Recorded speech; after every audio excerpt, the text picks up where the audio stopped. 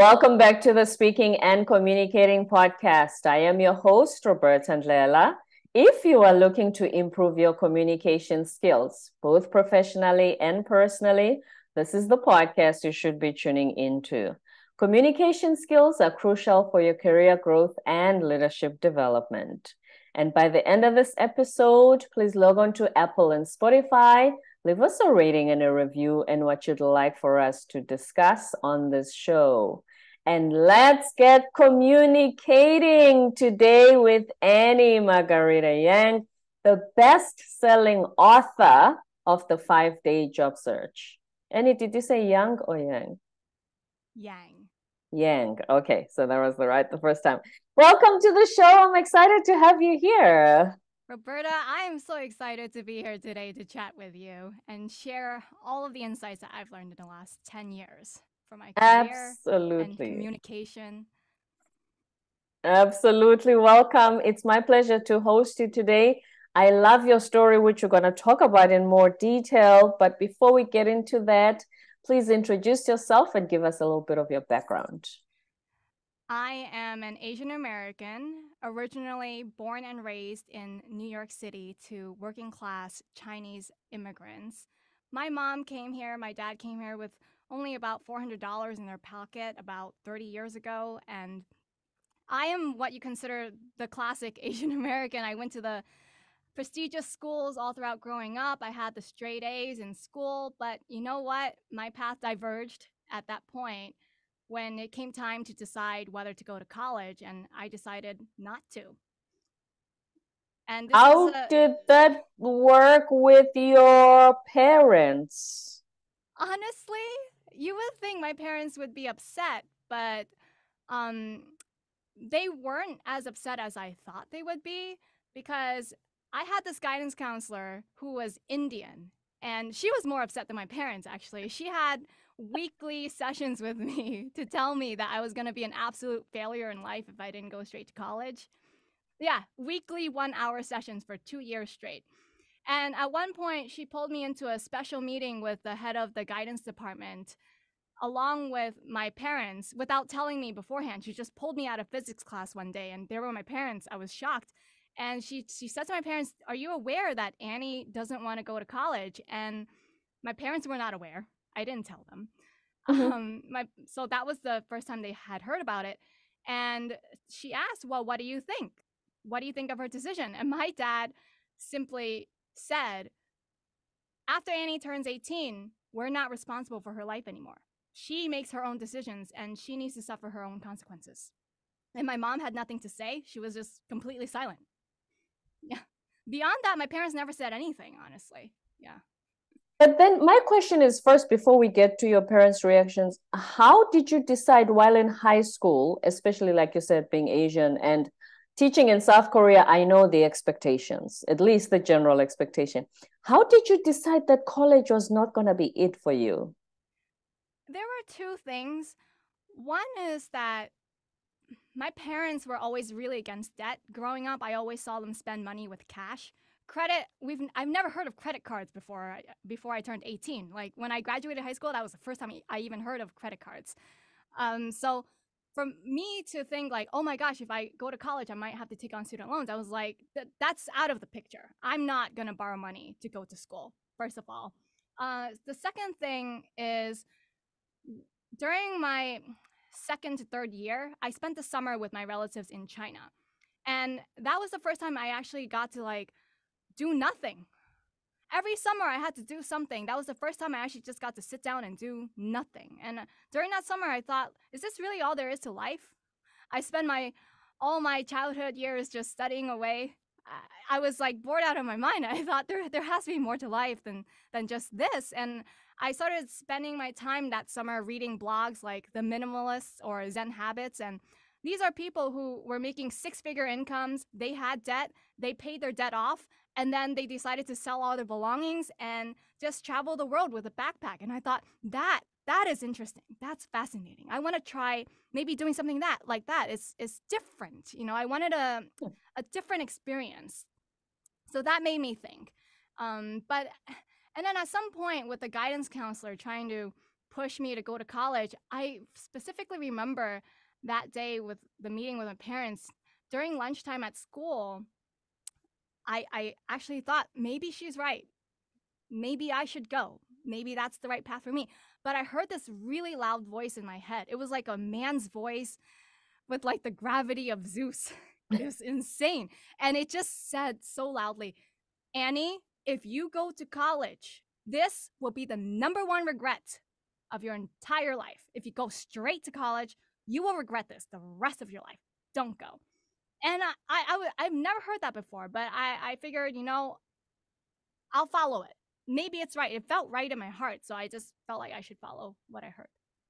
That is absolutely amazing. And as I said, especially going against the grain, and imagine how impressionable you were at, at that young age and for a guidance counselor to to put those little toxic words in your in your head and you still went against that so kudos to you but then you have a lot of children especially from the asian community like you said and based on my experience in korea as well not everyone has your kind of courage to say all this against me and i'm still going to take a different route I, would say that voice in my head, it felt so strong. It felt like if I didn't follow it, it was as if I'm disobeying something, I would say. And and that's been the case my whole career, like the last 10, what, I'm 28 now. I heard that when I was 16. So the last 12 years, I've continued to hear more and more. This isn't the the only occasion when I've uh, heard things. And I just feel like if I'm not listening to it and, and following that, I'm doing some sort of disservice. So everything that I've done has really been this thing that I hear in my head. Even writing the book, the book was dictated to me. You wouldn't, maybe you wouldn't believe that, but no, yes, we, we, we talk about in, inner voices and inner work and your inner communication. So yes, intuition and oh yeah, we we, we know yeah. all of that, Israel. And then so when you decided college is not for me, what was then the next step after you graduated high school? Since I didn't have any guidance and no one had advice for me, my parents couldn't give me advice on how to navigate the workplace in USA because they've never applied for jobs here, right? Mm. So, um, what I ended up happening to me is I just worked a whole string of minimum wage jobs, from working as a cashier at Shoprite to uh, being a cashier at another grocery place, at a hardware store, collecting basketball tickets. And at some point, you'd be shocked to hear this story. Um, because I had a really abusive boyfriend at the time, he told me one of the ways I could make some extra money, a lot of extra money, real quick and easy, was to become a foot fetish model. And I believed this guy. Like I genuinely trusted this boyfriend of mine, and I and I didn't want men touching my feet, but my boyfriend said it'd be a good idea. Maybe I can give it a try. He said, based on what he's read about it, there's nothing sexual. So I thought, okay. And I went there, and my goodness, that was just a front for prostitution. Good That's Lord. all I'm gonna say. you know that that I honestly can say at 19 that was my rock bottom. I'm kind of glad it happened to me because it it changed the trajectory of my life forever. I said, you know, I only want to do work that's aligning with my values. That's mm. not my mm. values. So going forward, I decided even if someone wanted to pay me a million dollars to violate my own personal values, my answer is no. Mm. Yeah. You made really strong decisions at such a young age. And so when you were doing these minimum wage jobs did you have like a plan of where you could take your life career wise or you just thought you'll figure it out along the way well the thing is um, even when i was working those minimum wage jobs i was studying every week so what i did was i made a whole list of things that i was interested in as potential career paths like for example back then the things that I really liked were holistic health or yoga, sewing my own clothes. And I basically looked at this list and I borrowed books from the library based on the things that I was interested in and reading more and more books just to see like is this something I really want to commit my career to doing? Like if I'm reading enough books about it and if it if the interest doesn't fizzle out quickly, mm. maybe there's something there. Maybe there is something potentially there. And after two years of doing that, I realized the one thing that never fizzled out, that I just kept going back to over and over again, was personal finance. I really liked to save money and manage money, and I figured that's what I want to do my career on. Like, I want to help people save money, manage the money, become financially independent. Mm-hmm. And you were thinking about finance and saving money and financial independence while working those minimum jobs? Because that takes a lot of discipline. Because a lot of us think oh i barely i'm living from paycheck to paycheck. Don't even tell me about savings and investments. How am i going to invest when my paycheck is gone at the end of the month? I was really frugal. Yeah even when i was working those minimum wage jobs at any given time every time i got my paycheck i set aside 25 to 50% of my income aside just for emergency and then the remaining that I was willing to spend was spent on necessities like food. At some point, I even moved out, earning $10 an hour in New York City. I did move out. I never asked my parents for money to help me pay the rent or food or anything at that point. Um, and and any discretionary income, I used it to spend on books and personal development. That is amazing, especially for New York City. You know, it's not like you're in in one of the southern states where things are a little cheaper and you still have that level of discipline.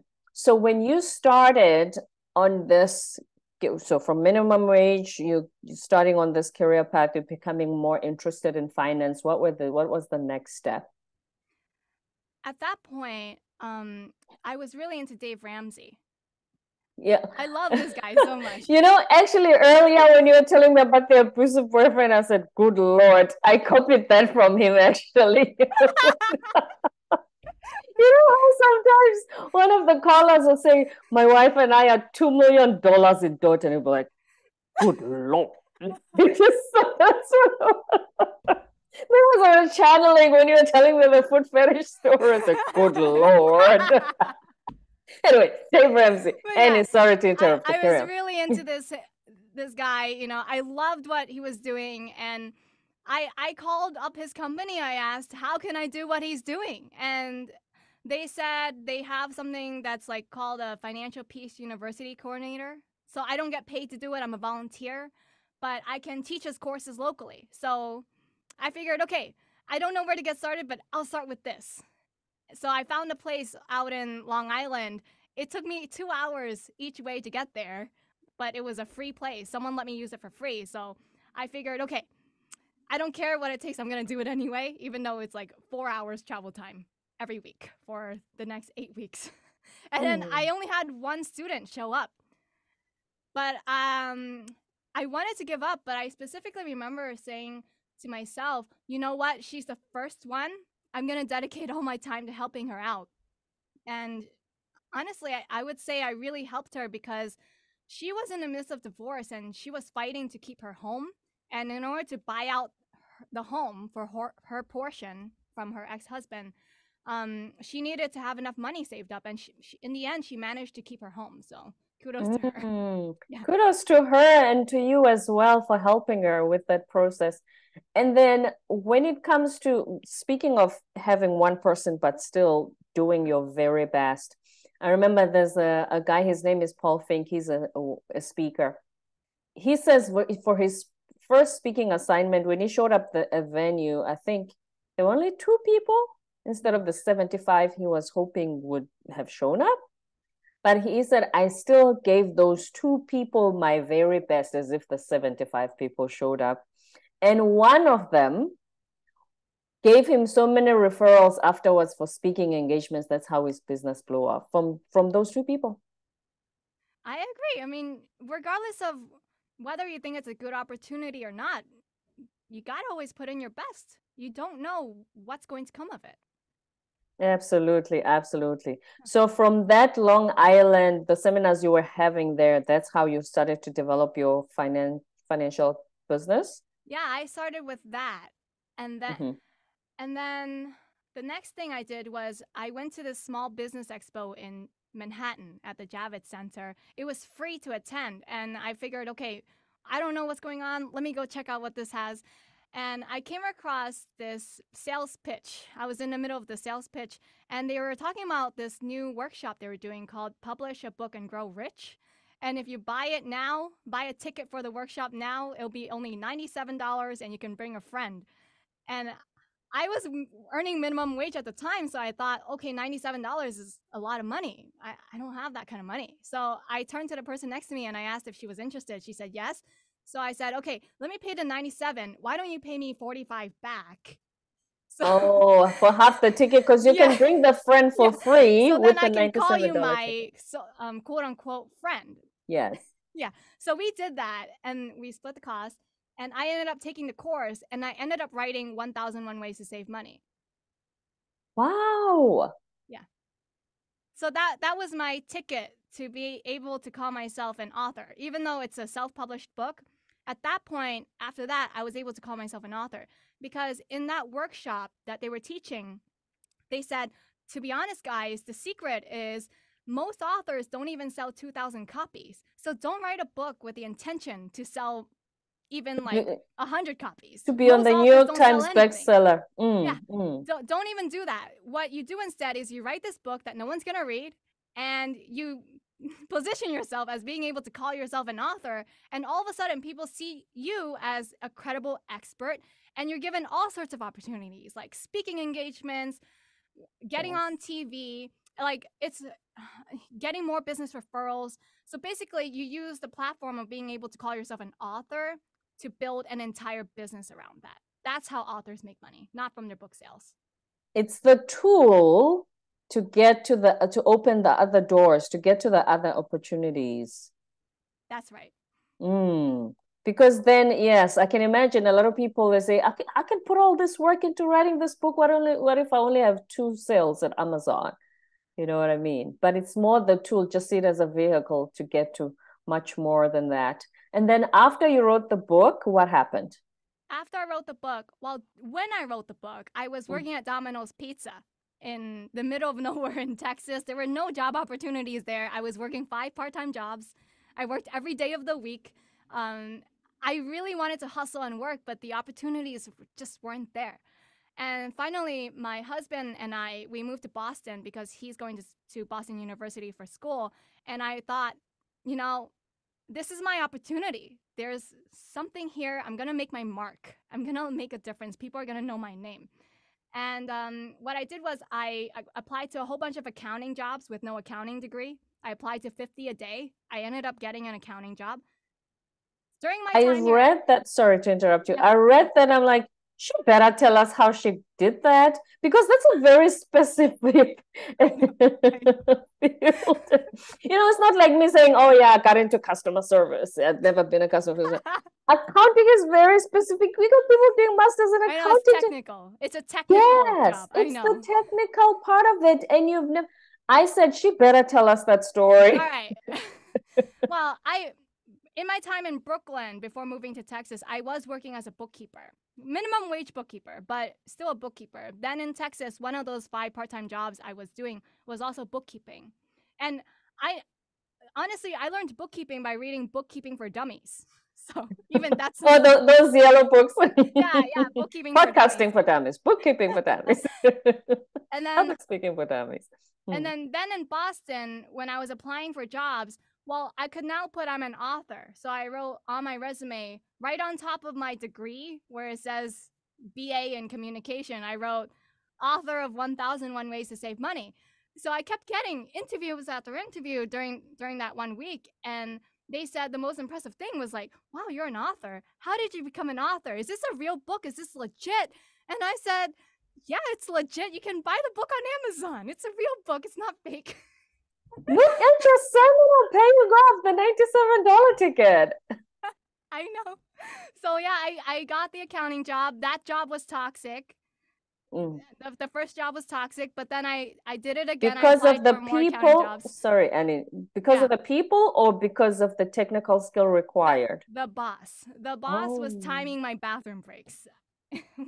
One okay. day I went to we got a break at 10 a.m. every morning. One day I left at 10:01 so I thought, okay, we got 15 minutes. So I came back at 10:16, and he's a micromanager. He was looking at the clock and he said, "Young lady, come over here." And I, I said, "What? Did I do something wrong?" It's 10:16. You're stealing one minute of paid work time.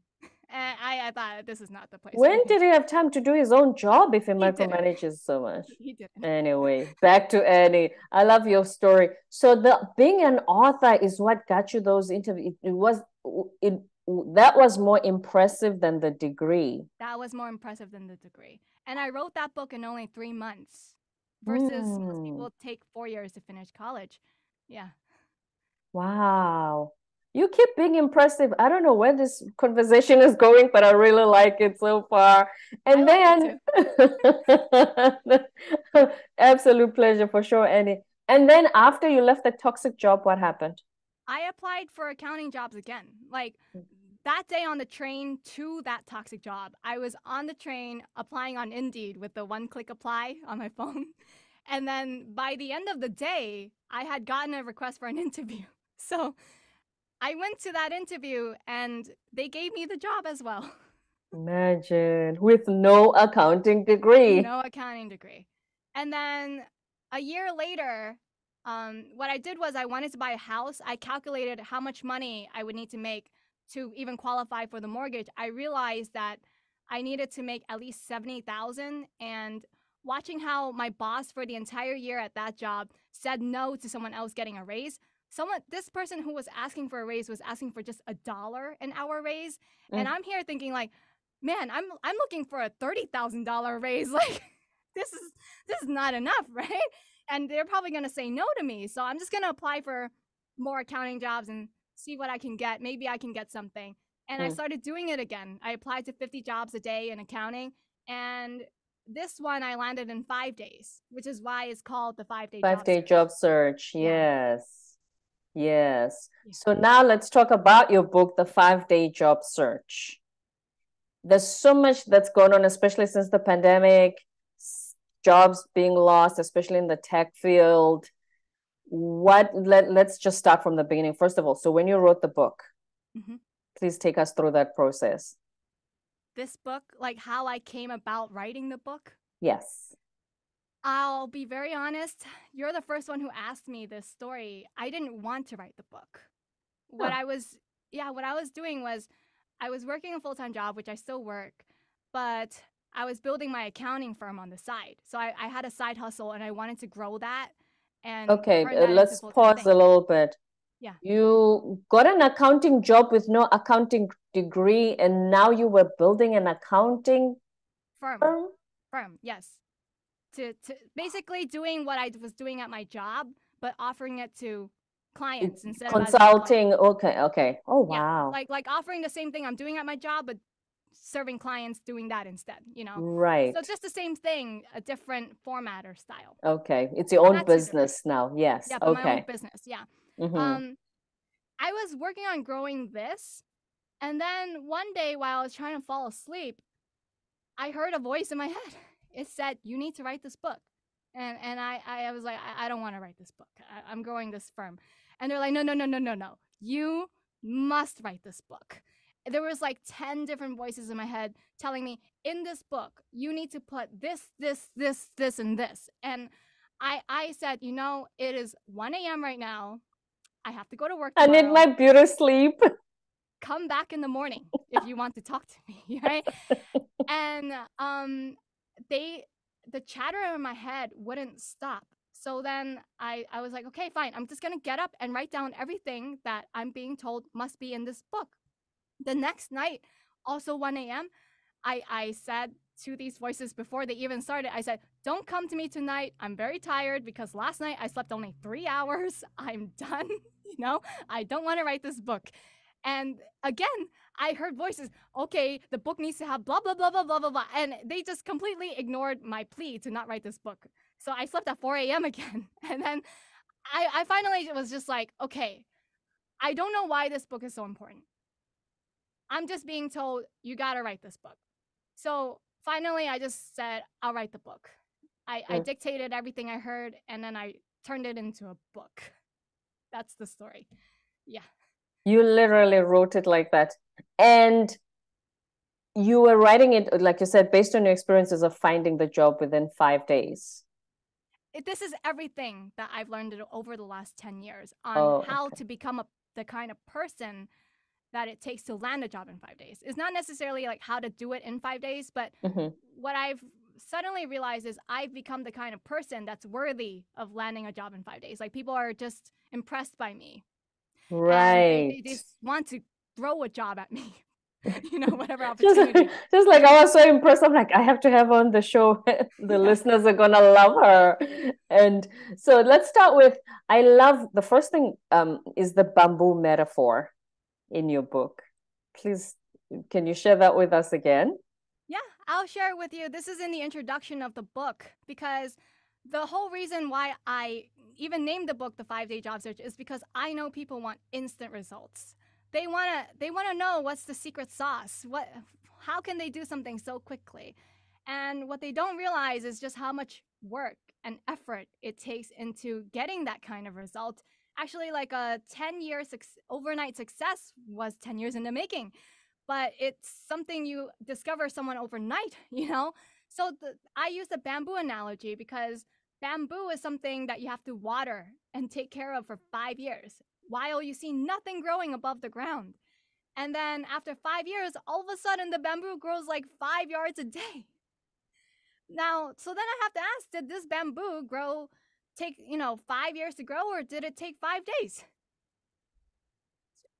people only see the visual, like the actual tangible result. They don't see all the effort it takes behind the closed doors, all the midnight oil that was burned.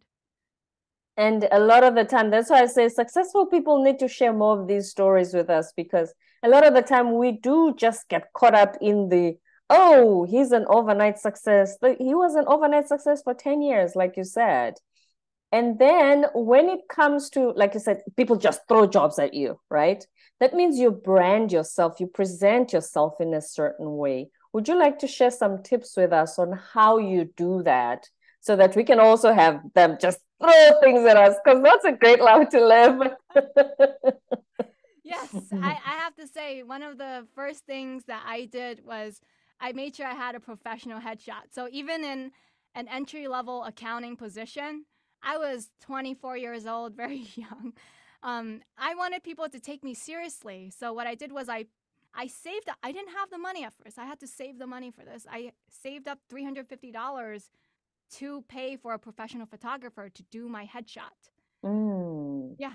Now, back then, I was limited on funds, so all I could do was get this like affordable haircut from Chinatown and then walk over to his salon. I mean, not the salon, the The photographer studio. studio. Mhm. Yeah, and then I, I had to do my own makeup as well.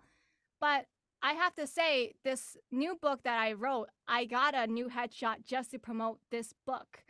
And my goal is to look like a famous celebrity. So I spent a lot of money on this headshot. And I have to say, the headshot makes a huge difference. So this time, I'm saying like a high end hair salon, using a professional makeup artist, making sure my clothes look great and then also finding the best photographer that I can afford. So this time I went to, I, I got um I used the makeup artist that did makeup for Steve Jobs and the royal family of Morocco. Like that's the kind of level I went for. A celebrity makeup artist along with a celebrity photographer. So he shoots people. I'm not sure if you've heard of Ramit Sethi. No. Uh, he's he's really popular. He's he's on Netflix now, um, Mhm. he- and he founded I Will Teach You to Be Rich.com. He, I mean, he shoots like really really famous people. So I went to that kind of person for this headshot. Yeah, you really went for the cream of the crop. And that's because you like you, you saw the value in how branding yourself. Like you Yeah. said, you'll be taken seriously. You, you come with that way of presenting yourself, and that's why they just throw things at you because they want to be associated with someone. We want to be associated with somebody who presents themselves that way. Yeah, you have to. I think the problem is people are so focused on the kind of job they have now rather than who they want to be. Like, even for the first headshot that I got when I was 24, the Mhm. photographer asked me, What do you want to be? I said, I want to be a future CFO. Make me look like I'm a future CFO in the making. And so that's the kind of shot we were going for to put on my LinkedIn profile. And then that's what makes people like more respect- receptive over the last few years to talking to me. And at some Mm. point, back in February, I was actually offered a CFO position, which I no way. I'm not kidding. I turned it down. I You're a miracle, seriously. but you have to look the part. I mean, it's really important, you know? I used to say, because I used to be really frugal, I come from making minimum wage. I, I thought, why why do women spend so much money on beauty? It's such a waste of money. What people should care about is your personality. I think that's more important, your character.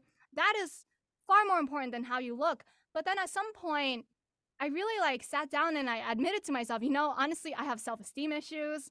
I feel like I look ugly. I haven't put any effort into my appearance. I know I'm not ugly, but back then I felt ugly. That's how you felt. Okay. That's how I felt about myself. And I just sat down and I said, you know what? Maybe I need to work on this.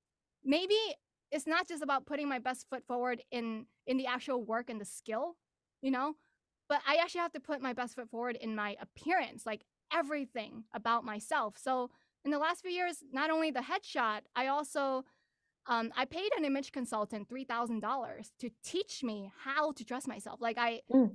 I asked her what colors look the best on me because I realized from watching videos of myself on YouTube, some colors made my skin look greenish. You know, it, it made me look a little sick, and I realized colors and how they they work with your skin are really important. Right. So I paid. My mom used to. Sorry to to interrupt you, Annie. My mom used to say the same thing when I started working. I used to just buy black black suit, black shirt, black everything. And one day she said to me, Your wardrobe looks exactly the same. I said, What do you mean, Ma? About different things. She said, No, meaning color. Everything is black. She said to me, Have you noticed how white women look so beautiful in the LBD, the, the little black dress? I'm like, mm. Yeah. She said, It's the contrast of the skin. It so if true. you try bright colors with your black skin, imagine. And that was it that that was it. That's that was a game changer for me. Yes it, it does what you're explaining. It really does work. You must always choose colors that work very well with your skin tone. Yes but most people don't know that. I didn't know that. I didn't know that until i went to an image consultant. And I, I said this is ridiculous. I've struggled with this. I've read books on it. I still can't figure it out. I just need to pay someone to teach me exactly what i need to know from my own body. Because i didn't know. Um, after that i went to a makeup artist because I was watching videos on YouTube, these beauty gurus teaching you how to do makeup, and I couldn't get it right. They were putting their eyeshadow here and uh, their blush there, and and it looked so weird on me. I couldn't figure out why. You know, so I finally just said, I'm, I just need to pay a makeup artist to teach me how to do makeup on my face. Right. So I got that worked out. Then I went to a hair salon and you know, I had to figure out what kind of hairstyles looked nice on me. And then recently, actually just this year, I figured why stop there at my appearance? Why not smell nice as well? Yes, have your signature perfume. Why not have a mm. signature perfume? Now, I've always hated perfume. I always thought it was obnoxious. It made me feel sick. But I thought to myself, maybe I'm wrong. Maybe I have like a misconception about perfume. Maybe what I hate is someone walking by wearing cheap perfume. You know, or when they spray it all over, because it shouldn't you shouldn't smell it from light. 10 meters away right, yes right, right. just just a little tint yeah yeah so i figured maybe i gotta i gotta test this belief that i have so what i ended up doing was i went on microperfumes.com i bought a hundred samples of the best-selling perfumes mm. and, and I, I just tried all of them because I, I was wondering, I don't know how other women figure out their signature perfume. Do they just try five and they're like, okay, that's my signature? I mean, how do you really know it's your I, absolute favorite? I used to, you know, when you go to a perfume shop back in South Africa, it's called Red Square, yeah. where it's it's a big department chain of, of cosmetics, perfumes, and and skincare, and so obviously they have testers, right? So I used to just know that okay, I think I have about like top three top five at best. Mm-hmm. I know with um, Estee Lauder Spellbound, which you don't find at shops later for some reason. Uh, Dolce and Gabbana, the one, the original, not the one that they made uh, some changes to. I'm like, no, no, no, the original mm-hmm. one. And then um, Aromatics Elixir, which when I went to South Korea, I, I hardly was able to find it even at airports.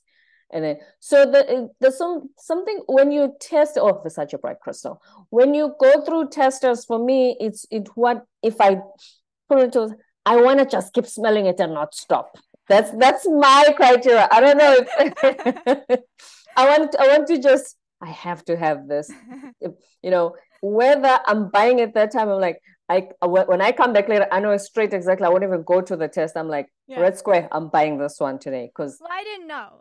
Yeah, so I didn't know that, that, that's how some women do it. So I figured, you know, why not big, go big and try it all. Right, go big or go home. right. So you put everything together externally so that you are very appealing. Your your energy but more than anything, let's talk about now the internal, which is first impressions are what's going to make them want to know more. So you are right. It, it's it's important to have the outside being perfect. Now the soft skills, the communication, and how you sell your sell yourself now, and how you present yourself from the inside, because now we've dealt with the external. Mm-hmm. Yes. So what tips do you have for us in that in that regard? I would say the number one thing that has made the biggest difference for my career in terms of being able to communicate with people was public speaking. I went to Toastmasters and I just kept going back every week. I did a speech a month. Now, if you do less than one speech a month, you're not going to improve. But if you do at least one a month, then you build with that momentum based on the feedback you got previously and you can mm-hmm. improve with each speech. I did that for two years and then with all the table topics questions that had thrown at yes. me and I had to present in front of people, I feel like with that, I got very comfortable in my job interview so that I wasn't on Glassdoor trying to figure out ahead of time what the interviewer was trying to ask me. I was just, you know, being myself in the interview. Now I'm being my best self, right? The what I found is a lot of people don't actually truly care precisely what I'm saying, the content, what they really like is the energy behind what I say. Just like I'm enjoying this interview. Exactly. Yes. So yes. That was really, I think, the biggest key for landing all the opportunities I've had. It's the energy, along with, you know, being able to have the eye contact and being pleasant, smiling, right? It's Which not necessarily do, yes. what I say. You know why that point is important? Because I've had several guests on the podcast saying, if you are 10 out of 10 with your technical skills, right? Mm-hmm. But you are a poor communicator, even the very technical stuff that you know, people won't even perceive you being that good in it. Interesting. They the, because everything is perception you you may be so expert in what you do but if you don't know how to communicate they don't think you are that good. I mean that's true right? Because if you're not able to communicate it how do people figure out that you're good? There you go. There's no way for me to figure out that you're the best dentist out there or you're the best accountant if if you're not able to tell me in in a way that you are. Mm, mm. exactly. So the perceptions is not just the physical, the outside, but the the internal as well. Do you communicate? And then so when you're at job interviews, like you said, it's your energy. What else, what other tips can you share with people to land the, or to improve themselves so that they land these dream jobs? I would absolutely say it is not only just the public speaking, but that energy, that's the hardest thing. People don't know how to tap into that energy subconsciously. Now, the thing is, right now I'm in the middle of like coaching people and helping people with their resumes. They're so uptight when they first come to me. They're like, I, I don't think I can land a good job in, in five days or whatever. They get really uptight and anxious and they have all these limiting beliefs. And then they're also telling me, I don't think I have any accomplishments. I don't think I've done much at my job. But the thing is, once I start asking certain questions about what they did at their job, they loosen up they start saying, "Oh, I helped the company increase sales by 15% in 9 months." And I was like, "Well, what is 15%?" They're like like 1 million. I increased sales by 1 million. And, that's and I big. Thought, I know. That's that's amazing. And here I am. I'm learning that other people have far more I what I think is far more accomplishments than me in the actual workplace they've done very well, but they're not able to communicate it because they they have this energy that kind of says like I don't think I'm worthy. I don't think I'm capable. But the thing is, once I start asking those right questions, they're just like being themselves. They're like, oh yeah, that's what I did at that job. Like if they can tap into that and bring that same energy, that's just like very chill, kind of like talking to a friend. Oh yeah, this is what happened at work today, kind of vibe.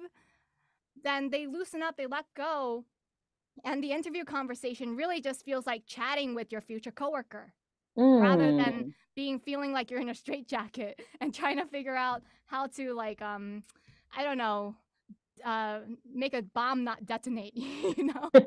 Make a bomb not detonate. I like that metaphor. Yes and the thing is it's funny how they downplay their achievements. Why do you think that is? I think some people genuinely can't tell that something is an achievement.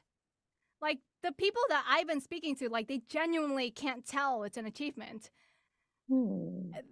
I when I ask them what they did at their job, they start telling me, but then I start pushing for numbers. I start asking, well, how many cages did you clean when you were working at the animal shelter? Or how many audit engagements did you do at this accounting job? And they tell me 48, 18, right? I was like, well, that's a lot, you know?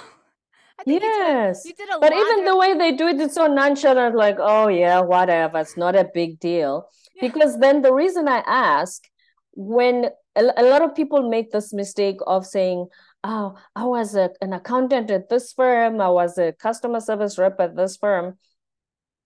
You sound like everybody else. But if you can tell the story of I helped the company make a million dollars more that last quarter. I have hired that one one right away. If she came to oh if she came to me and she's like, I can help you sell a, a million more books a year.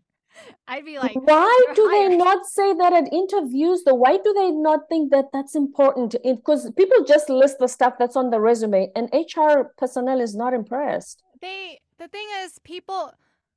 This drives me crazy. So one of the people that I'm helping now, he kept coming to me every single session he, his first question was, "What certification do I need?"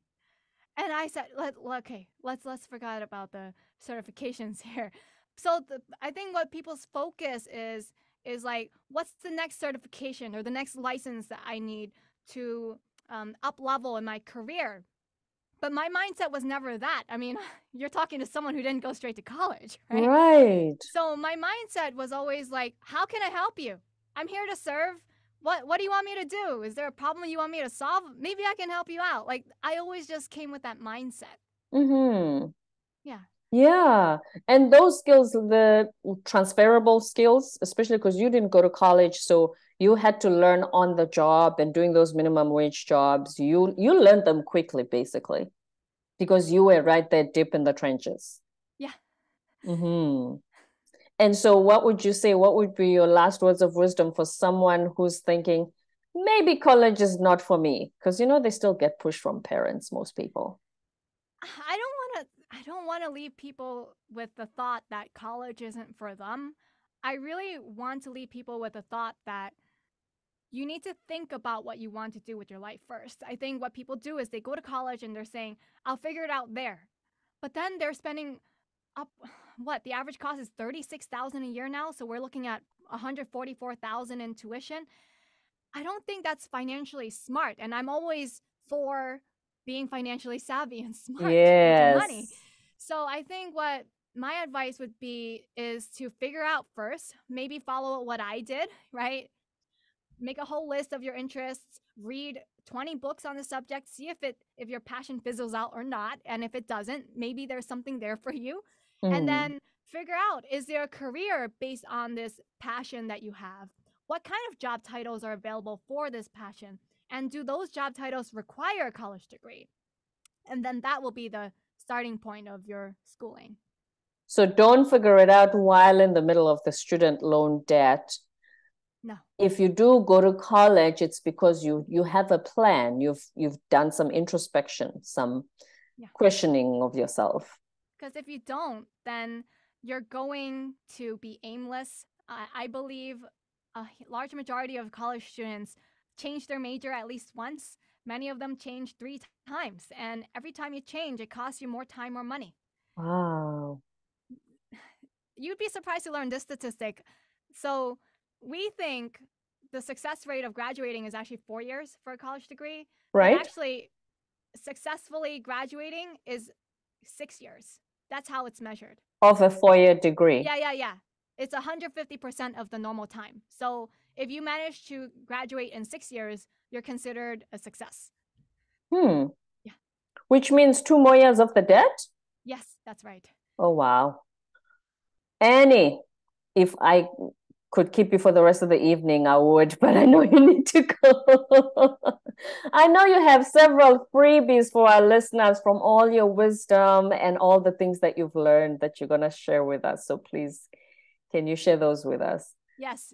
Roberta, if your listeners are interested in getting a personally signed copy from me and with a 10% off discount and free shipping within the United States, they can go on annieyangfinancial.com and enter the coupon code communication10 when they check out. Communication 10, thank you for the 10% discount of a personally signed copy of Annie Yang's book. So that's the five day job search, right? Yes, for the five day job search. Yes. And I believe you have some other worksheets as well that are very helpful and some templates too. Yes, all throughout the book, um, there were exercises that I wished people could do as well alongside the book that I wish I had known about back then. Um, I couldn't include them in the book itself because these are things that you would have to write on, and I don't want people to write in the book itself. Mm. So that's why they are available for download on annieyangfinancial.com. And also, if anyone's interested, they can also get the audiobook for free right now on annieyangfinancial.com as well. Are you narrating it? Because I love your energy. Huh? Are you narrating the book? I love yes, it. I narrated the book myself. Um, but honestly, even if they get the audiobook for free, they would want to buy the actual physical book because there's so much information in here. It's something you want to keep referring back to, and doing that with audio wouldn't be so easy. Yeah, you wouldn't be able, it's not practical for sure. Thank you so much for being here. I had so much fun with you. This is so far like the best podcast interview I've been doing. Thank you so much. You are too kind. I love it. No, I, I absolutely. Now I see why people throw things at you. You're just so much fun. I don't want you to leave. oh, thank you. My absolute pleasure. Thank you for being here. Before you go, where can we find you if we want to know more? If you want to know more, you can also find more content on YouTube. All you need to do is search for Annie Margarita Yang, and I should show up there. Okay, and YouTube, and then um, Annie Yang Financial on the website. That's yes. the website. Sorry. That's correct. Thank you, Annie Margarita Yang. Yang, sorry, the best-selling author of the five-day job search, the accountant with no accounting degree, who's showing us that it all depends on our mindset. Thank you very much for being here today. Thank you so much, Roberta. Have a good night. You too. My pleasure. Don't forget to subscribe, leave a rating and a review on Apple and Spotify, and stay tuned for more episodes to come. So, Annie, you say that AI, you use AI to help your clients with their resumes and LinkedIn profiles. Can you give us a snippet of how, how that is done? Yeah. So, what I do is I tell these people to look for their ideal job title. For example, if one guy wants to be a hotel manager, I tell him to look for 20 job listings through a Google search. And then I have this person, I don't want to do the work myself, I give them this as a homework. They need to copy and paste the listing into ChatGPT 4, not 3.5, but 4. So the one you pay $20 a month for. And we prompt ChatGPT to analyze the job listing. So we say, please analyze the following job listing what are they looking for in an ideal candidate? And how should the resume be written so that we come across as that ideal candidate? And then we copy and paste one listing. And then we do that 20 times so that we get 20 different analyses. And then we um, copy and paste those 20 analyses into word doc. And i have this client uh, group the themes. So like let's say all the themes for education should be in one section or like number of years of experience should be in another. Um, what kind of soft skills are they looking for? Do they need someone who wants flexibility? So we basically start grouping everything. Um, what kind of technical skills, and then uh, a section for software. So basically, an analysis of the analysis. That, that's the best way I can put it. And then once I start helping them write the resume, I take a look at their homework that they give me, and then I start asking questions based on the analysis. Like, well, do you have experience with this software, or or um, do you have this kind of technical skill that they're looking for? So that way, we end up writing the resume targeted for the specific position that they're looking for. Absolutely amazing, Annie. Thank you so much.